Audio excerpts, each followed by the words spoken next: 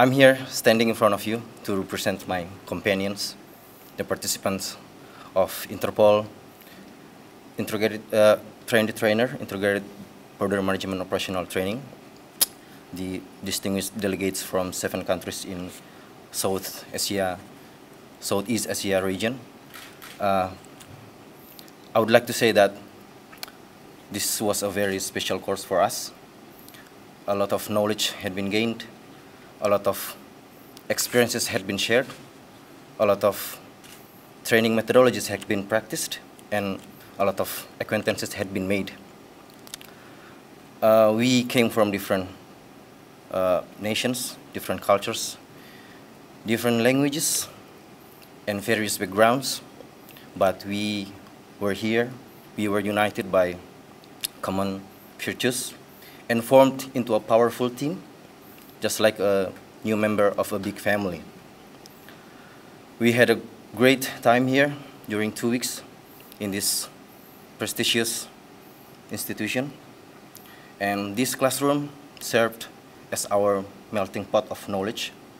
In this classroom, we shared not only ideas, opinions, views, and beliefs, but also we shared our own experiences from our workplaces.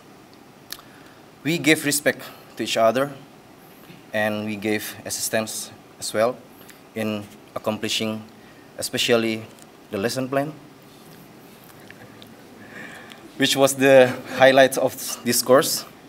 And oh, we were together not only in hardship, but also in fun and laughter. As a matter of fact, we now know how to dance poco poco, ladies and gentlemen. Poco poco. we know now uh, we now know how to dance poco poco, and we were singing together just like brothers and sisters. Ladies and gentlemen, this course pushed us to our limit, but we realized that there's still a lot of room of improvement as we go back to our country, and we spread this knowledge to all our colleagues in our country. And every single knowledge that we have been gained here, we believe it will be beneficial for us in maintain our security of our homeland. And moreover, we now have a direct contact to our respective counterparts in ASEAN nations, which I believe I can rely on when I need assistance.